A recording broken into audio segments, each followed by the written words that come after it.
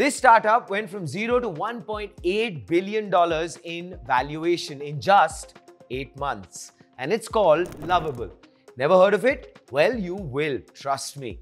Lovable lets you build apps with just natural language. No code, no development team, just vibes.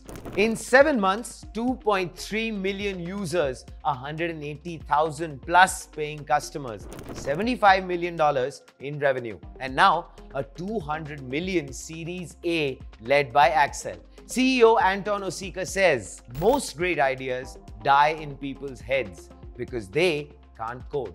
Lovable fixes that. Even after security bugs, they patched it fast and kept growing. One Brazilian app made $3 million in only 48 hours. Built, guess where? On Lovable. From Stockholm to Silicon Valley, vibe coding is real. I ask you, would you trust AI to build your next big idea? Please do let us know in the comments.